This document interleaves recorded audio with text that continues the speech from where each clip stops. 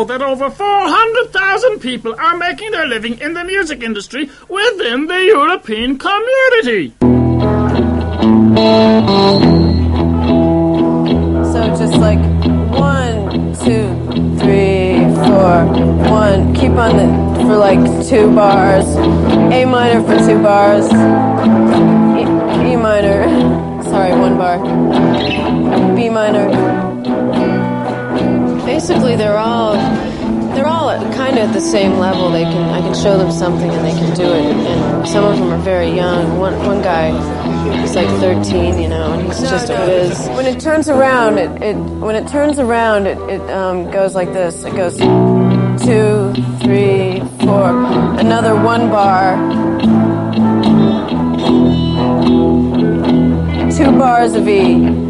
And, it, and then you stay on the E because it starts over right there. Three, four, one, two. What I'm doing is showing them like the blues, not just four bar or 12 bar blues. I mean, with three chords. I mean, I'm trying to tell them that you got to play it a certain way. There's different types of blues and where it comes from. And were they specifically interested in the blues before they went in, or I think so. Uh-huh. They they seem to be. They said, you know, when they raised their hands, they you know, we said what we taught, like jazz, blues, rock. You know. These guys all said blues,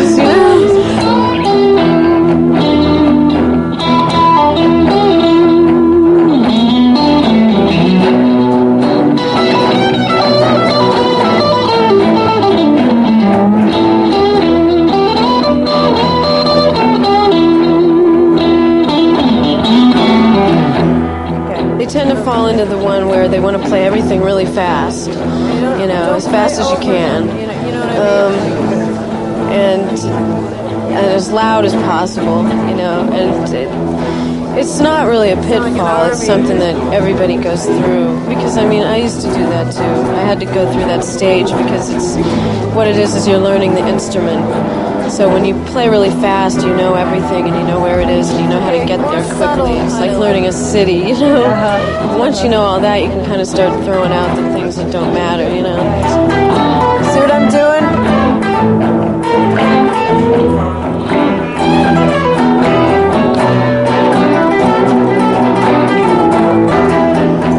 so? Beki, what do you think of the setup like this? Do you think these workshops and rock schools work? Yeah, I do.